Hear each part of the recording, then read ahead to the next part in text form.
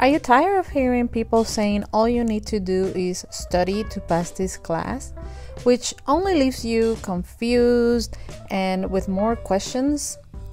Or maybe you know how to study, but anatomy and physiology got you confused or unsure of how to do this? If you answer yes to any of these questions, or you're simply curious, then this video is for you. Hey guys, welcome to another video. I'm Dr. Gonzalez. But before we get started, don't forget to subscribe, like, and share because in that way you will never miss a video every single week when I post a new one. All right, let's get started. Number one is change your behavior, and for this, I have several steps I'd like to discuss. A is before the course begins, if you know which book you have to buy, Go get it and read it in advance. This will give you a head start on the material. B. Go to class. Literally, this is your job as a student. C. When you're in class, take notes of the things your professor is saying. Writing down in a piece of paper or your iPad notes have been proven to work for memory retention. Writing down the things that your professor emphasizes is important because if your professor is talking about this, it means it's important. D. Be present.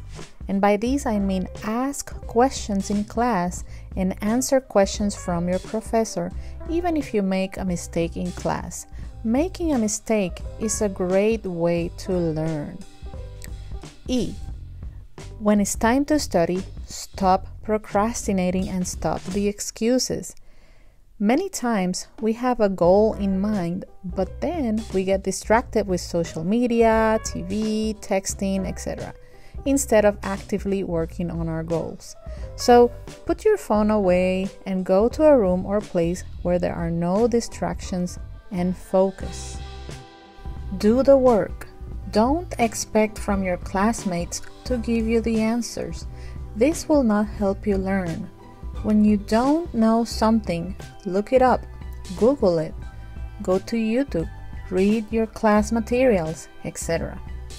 And G, think about the consequences of your actions. By this, I mean if you put the effort into the class, your actions should help you achieve a good grade. On the contrary, not putting an effort will lead to the contrary, right? Failing. But if you fail again, then stand up and keep trying. Tip number two How are you organizing yourself and studying? For this, I'm going to give you several steps. A. Create a study schedule and stick to it. This will help you find the time to study. For this, I made a specific video where I show you how to do this step by step. So click on the card on top of this video to see it. And also I will leave you a video link at the end of this video if you want to continue observing this one. B. Analyze how you learn best. By this I mean if you are a visual learner or auditive or kinesthetic or a combination of some of these learning methods. You can also take a VARK test online to figure this out, or simply study and observe how you learn best by testing each one of these methods and remembering what you study. Once you figure this out, you can keep applying this. C. Then start studying a minimum of two hours every day, or use the schedule you prepared. Use the materials your professor asks you, such as PowerPoint, your books, videos, and more. Use one of these methods at a time because using all of your studying materials and having them on top of the table can make you feel overwhelmed. D. Anatomy is very visual, so use visual aids to learn like anatomy apps, right, such as Visible Body, See Anatomy, and more. You can also use anatomical videos, anatomical models, anatomy flashcards, anatomy atlas, and coloring books. as different ideas.